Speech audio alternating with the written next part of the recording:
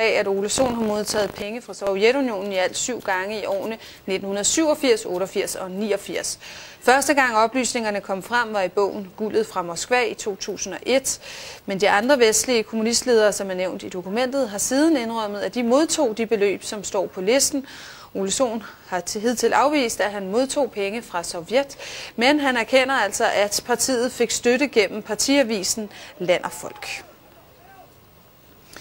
Hvis Rød Blok vinder næste valg, så vil statsminister Lars Løkke Rasmussen, udenrigsminister Lene Espersen og en række embedsfolk blive afhørt under vidneansvar. SF's formand Ville Søvndal siger nu for første gang, at en ny rød regering vil nedsætte en undersøgelseskommission, der skal endevende den såkaldte sygehussag. Sagen handler om... SF's gruppeformand Ole Sohn igen i dag under beskydning for sin tid som formand for det danske kommunistparti 1987 til 91. Fortegnelser fra det russiske kommunistparti viser nemlig, at DKP fik millioner af kroner i sorte penge, og som modtager af en række af de mange millioner står Ole Sohn. Ole Sohns forgænger på posten som DKP-formand, Jørgen Jensen, modtog også store millionbeløb. Og det bekræftes nu for første gang af DKP's daværende faglige sekretær, Bo Roskov. Jamen, jeg oplevede det, at uh, Jørgen Jensen nogle måneder før han døde, uh, inviterede mig på en god tur ned gennem Bredgade, hvor han fortalte mig, at uh, DKP modtog penge fra Sovjetunionen. Og hvad mente han om det? Det ville han ud af. Jørgen Jensen døde kort tid efter samtalen. Og Ole bliver ny formand.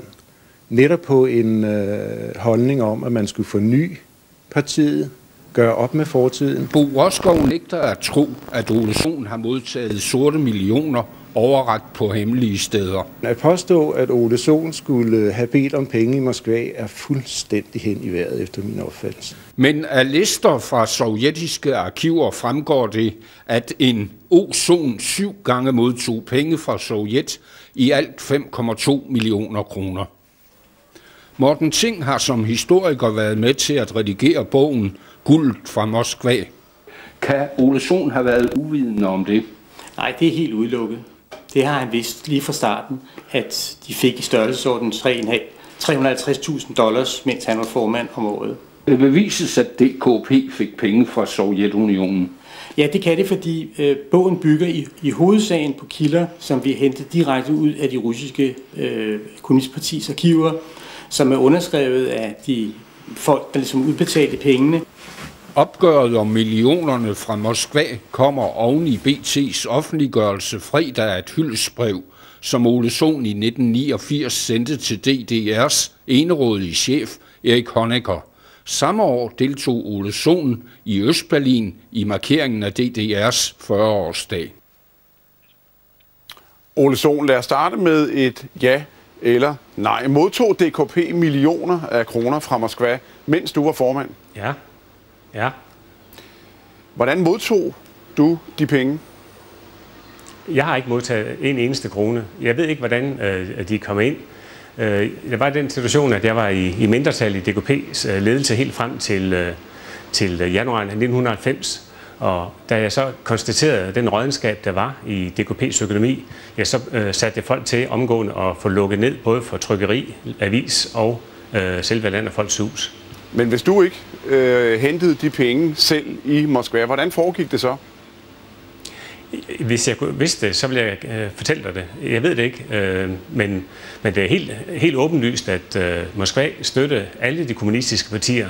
Og det var en fuldstændig vanvittig situation, at man øh, brugte almindelige russers, øh, russiske borgers penge til at finansiere øh, udenlandske kommunistpartier. Ja, det tror, jeg, det, det tror de fleste er, er det er den fleste ja. nok enige med dig i, Olsson. Men spørgsmålet er, hvad du foretog dig dengang, fordi det du siger her viser jo, at du vidste udmærket godt, at det strømmede ind med millioner af kroner fra et øh, diktatur i Moskva til det parti, du var formand for.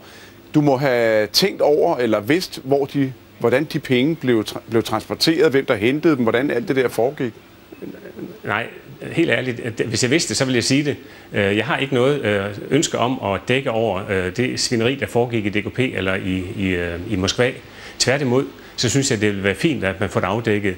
Øh, og derfor så øh, kan jeg kun sige, at, at øh, dengang jeg blev opmærksom på, og fik muligheden for, som øh, formand for DKP, at gøre op med, med den fortid, ja, så gjorde